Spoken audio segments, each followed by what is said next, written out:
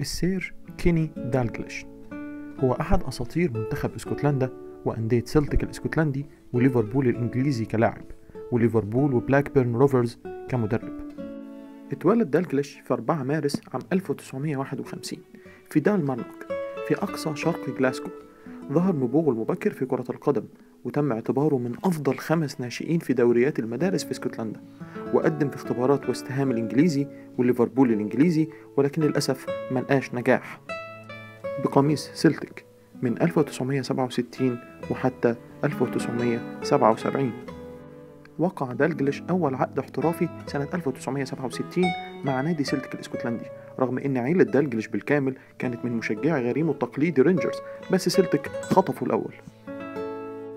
أول سنواته لسلتك تم إعارته لنادي الهواة كومبرنولد يونايتد وأحرز معاهم 37 هدف في دوري الهواة. وعند بداية السنة التانية كان مدرب سلتك وقتها ستاين عايزه يفضل سنة كمان بس دالجلش كان عايز يبدأ حياته الاحترافية وبالفعل وافق المدرب وتم قيده في الفريق الاحتياطي لسلتك الفريق الاحتياطي لسلتك وقتها اتعرف تاريخيا باسم كواليتي ستريت جانج علشان ضم شباب أصبحوا من أساطير الكرة بعد كده زي داني ماجران وجورج كونلي ولوي ماكاري وديفيد هاي. وكانت أول مباراة ليه مع سلتك في دور الثمانية كأس إسكتلندا أمام نادي هاملتون أكاديميكال في 25 سبتمبر 1968 في موسم 68 69 لعبوا بالكامل مع الفريق الاحتياطي وسجل خلال 17 مباراة أربع أهداف فقط. وفي السنة اللي بعدها اتحول مركزه لنص الملعب. وده ساعده إن مستواه يتطور جدا وده خلى المدرب يشركه أساسي في مباراة في الدوري في 4 أكتوبر 69 ومسجلش في المباراة ولا حتى أول ثلاث مباريات لعبهم أساسي مع الفريق. بس مستواه في الموسم ده كان رائع مع الفريق الاحتياطي وسجل خلال 31 مباراة 19 هدف.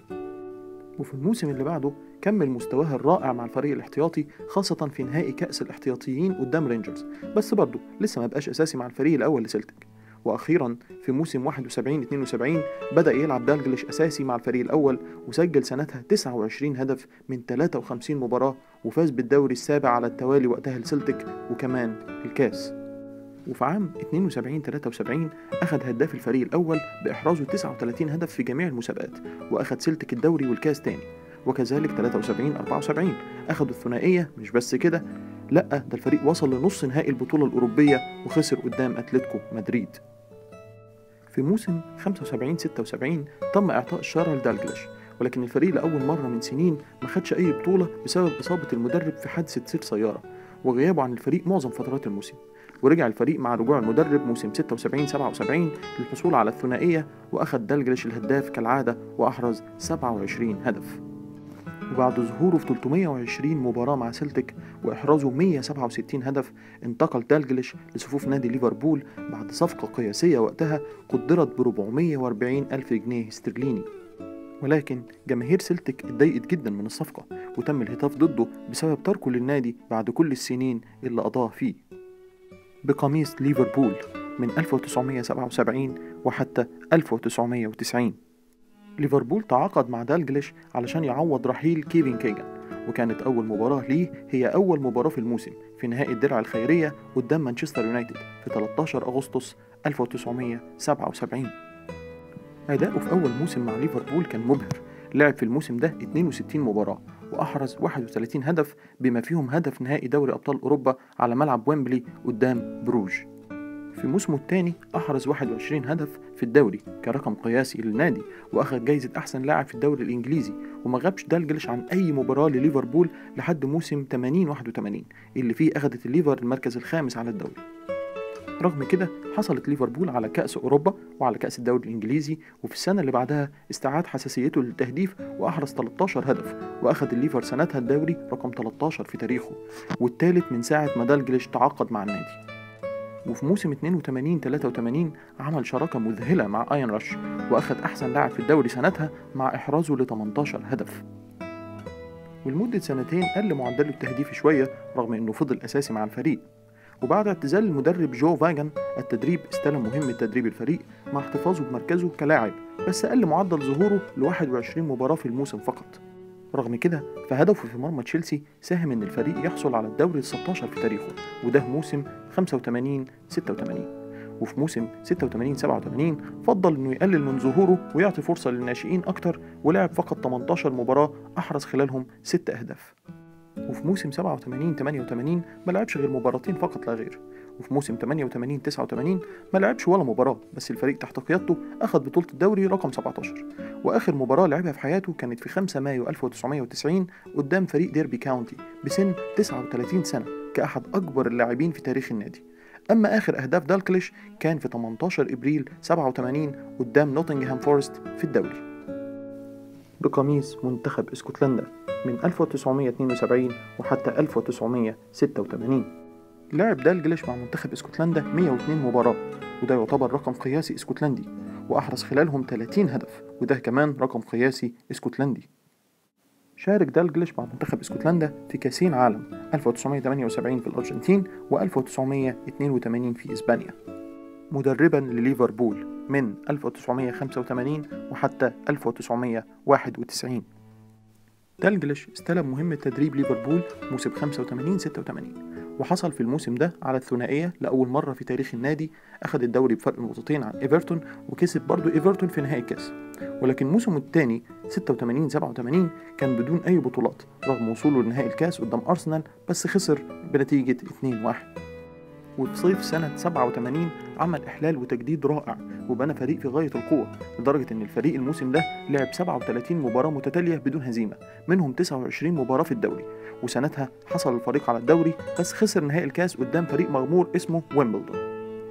وفي صيف سنة 88 تعاقد النادي مرة تانية مع المهاجم الفذ أيان راش وحصل الفريق على الكاس وفقد الدوري في آخر مباراة لصالح أرسنال. وفي موسم 89 90 حصل الفريق على الدوري للمرة الثالثة مع دالجلش وحصل هو على أفضل مدرب في إنجلترا. وفي 22 فبراير 91 قدم استقالته من تدريب ليفربول.